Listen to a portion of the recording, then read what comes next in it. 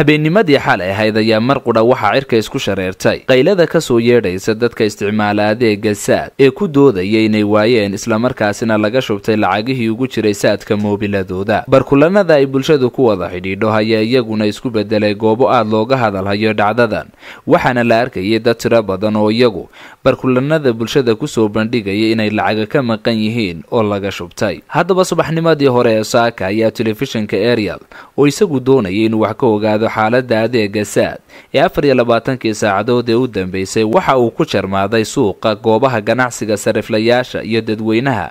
Oo hadalhayntoodii maantu ay ahayd aniga intaasa iga maqan iyo intaasa iga maqan. Saaka ayaa suuqyada hargeysa waxay ahaayeen kuwo aada looga dareemayo arrintan kuwa jaansaadka markaad la sheekaysato sariflayaasha iyo dadka iyagu lacagaha ku shubta adeegani saad ayaa ahaa kuwo walaac weyn ka qaba. Xaaladda adeega saad dadka qaar ayaa kuu sheegaya inaanay ahayn.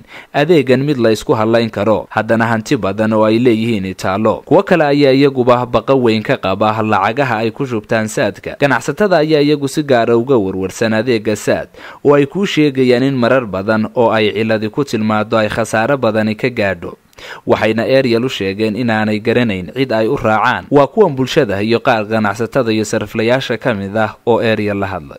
Waa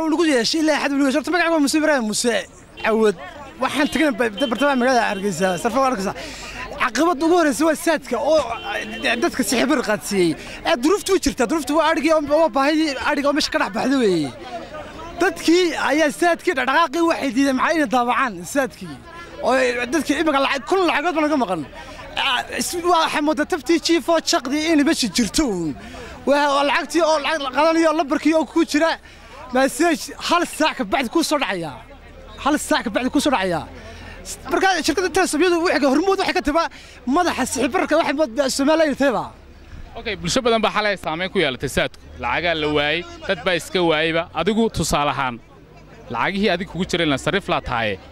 wax caqabadoo ama lacagtaada ka wida ama lacagii dadka kuu go'ay ma jiraan imika ma isku haysanay mid imika imikada laftaa isku haysanay bismillaahi raxmaan raxiim magacayga waa cabdinuur aadan xasan xuseen. Seedka xalay horta saameyn weyn buu magaalada magaraysa ku sameeyey gaar ahaan anigu lacag kun iyo shan boqoloo dollar baan in u diray uun. Kun iyo shantii boqol oo dollar ninkaan u diray markaan u diray lacagtii miga haysa baan ku idhi haabigu saaka marka lacagtii waxaan arkay iyagoo moobilkay ku jirto ninkii weliba ilaa iminka ma ogaanin. Marka waxaan doonaya imika waxaan ku sii socday telesom ku sii socday siday ku dhacday baan doonaya inaan weydiiyo. Waxaanu dareennay caqabad aad iyo aad weyn. Lacag aan baxayn lacag foojiriyo laysu dirayo. Caqabada aad waaweyn baanu dareen khasaarinta leeba adigaa soo gaadho? Ilaahay inu ogiyey laakiin aanan anigu imika aanan xisaabin. Bismillahi raxmaan raxiim alxamdulilah rabbilcaalamiin horsead xalay oo kale marka laga hadlayo xalay aad iyo aad bay u cakirnaydoo dee cidna lacag uma diri karayn cidna kuumay soo diri karayn waxaan arkoo kale xalay toole. Lacag baa inan baa lacag ku shubtay hundheelan oo ka cashaynayna kadib lacagtii u sii dir. Lacag dhan ugu jirtu waaye meel allah meela ka qabarta. Kaaniyo dee waa wax aad iyo aad u xun markaa dee lacagtii saa dir baad ka weydid xalay kale laakiin problem fara badan bay nagu keentay dadkii dadkii waan isqabsannay annagoo lacagii maa dirin. Lacagii maa dirin iyo waad ii dirtay waan xalay dhan isku haysanay. Liibaan xasan ibraahim baa la yidhaahaa. Lacag baan diray haddana caqabadii markiiba lacagtii way soo noqotay oo dadkii lahaa baan u celiyey.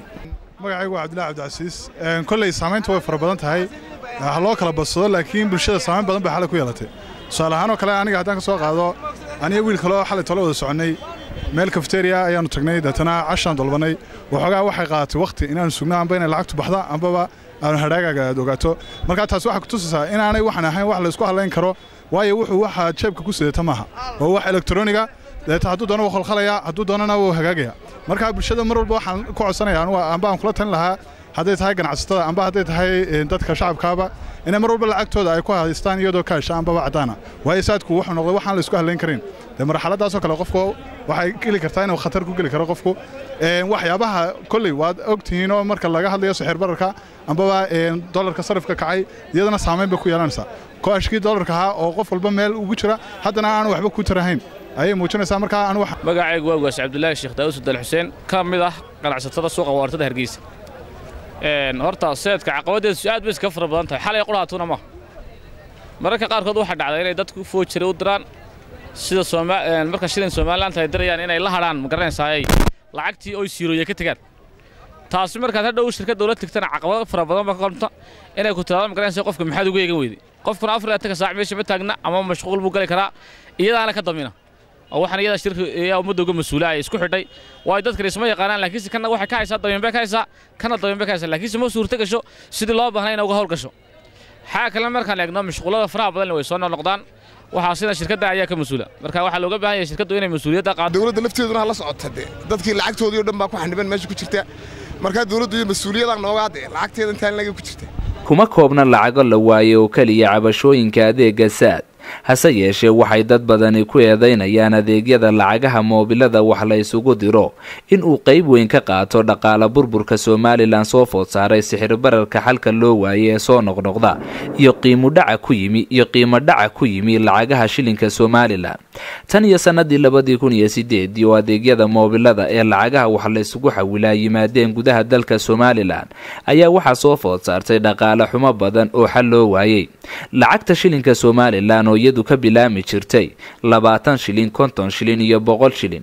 Ayaa gebi ahaanba meesha ka baxday waxaana hadda laga cabsi qabaa in shanta boqol ee shilinka somalilanna ay meesha ka baxdo. Adeegan oo dunida looga yaqaano mobile money transfer ayaa inta badan waddamada dunida ka mamnuuca marka laga reebo wadamo isticmaala. Balse ay dowladdu gacanta ku hayso oo lacagaha dadka ku isticmaala ay yaalaan bangiyada dowladdu maamusho dalka isku tagga imaaraadka carabta oo sannadii labadii kun iyo labadii ilaa labadii kun iyo toddobadii uu adeegani ka shaqaynaya ayaa hanti badan lagaga dhacay shacabka imaaraadka taasi oo keentay inay dowladdu adeegaasi joojiso. Dowladihii kala dambeeyey ee somalilan ayaa iyagu xakamayn kari waayay adeegyadani. Inkastoo adeegani faa'iidona u leeyahay dadka haddana somalilan ayaa dalka qudha ee dhaqaalihiisa ay shirkado iyo shakhsiyaad gaaray gacanta ku hayaan sarafka lacagihiisana ay gooyaan ganacsato isku tagtay xukuumadda somalilan ayaa dhowaan go'aamo ay u aragtay inay ku xalinayso sixir bararka dalka ragaadiyey ku soo dartay. Xakamaynta adeegyada saad iyo ii dahab iyada oo soo jeedisay shirkaduhu in keliya shilinka somalilan lagu isticmaali karo ama ay joojiyaan. Haddana go'aamadaas ayaan waxba ka suurtoobin welina sixir bararkii waa halkiis. Dowladda somalilan ayaa dhowaan soo saartay go'aan ay ku xakamaynayso adeegan maanta lagu muransan yahay saad hase yeeshee wadahadal dowladda iyo mas'uuliyiinta ugu sarraysa shirkadda telesom dhex maray ayaa sababay in ay dowladdu u samayso waxay ku sheegtay muddo kordhin ay siso adeega saad inkastoonay muddo kordhintaasi cayinayn haddana bulshada somalilan ayaa siday maanta eryal u sheegeen waxay sugayaan ka dhabaynta go'aankii ay dowladdu hore uga qaadatay adeega saad oo muddooyinkii ugu dambeeyeyba lagu eedaynayey inuu ka qayb qaato sixir bararka iyo miciishad bararka somalilan muddooyinkii ugu dambeeyeyba ku habsaday waa cali mahdi jibriil telefishinka caalamiga ee eryal magaalada hargeysa